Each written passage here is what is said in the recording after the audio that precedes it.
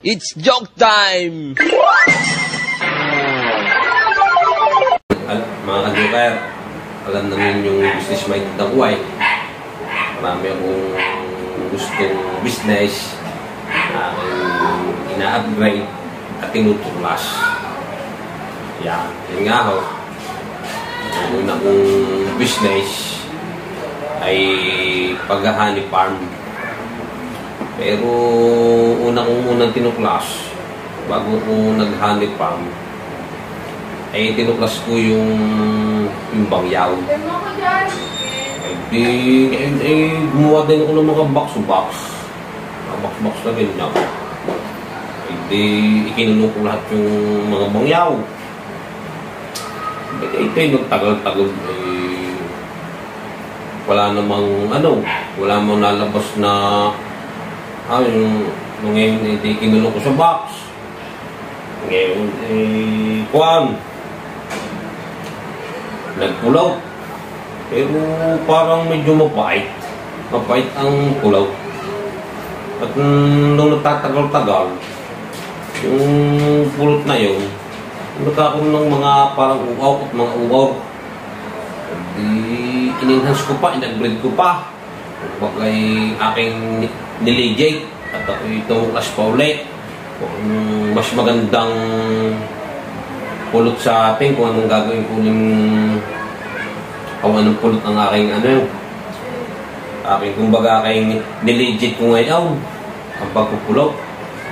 Ay di ngayon ako yung napunta niyo sa Liligiwan.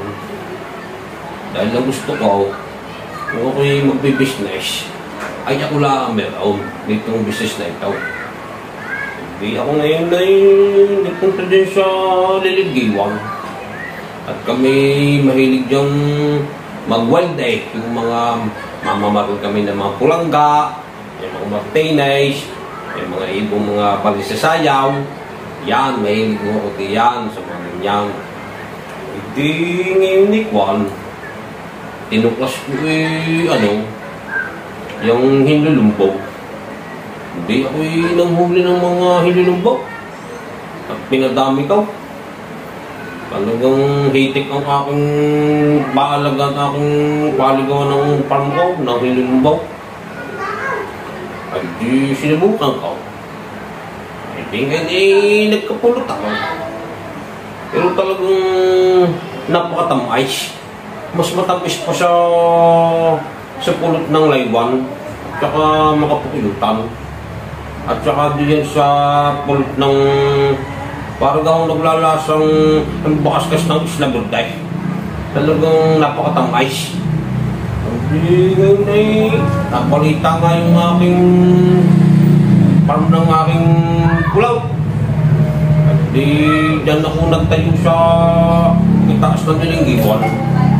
At mataas-taas ng tayo para maganda ang hangin nasin sa aking mga indulumbaw.